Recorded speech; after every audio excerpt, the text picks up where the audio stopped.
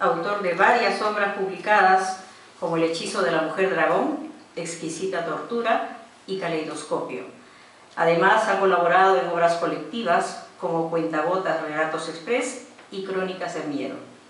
Finalista de diversos premios literarios, actualmente imparte talleres de narrativa y colabora en distintos medios de comunicación. Démosle una calurosa bienvenida.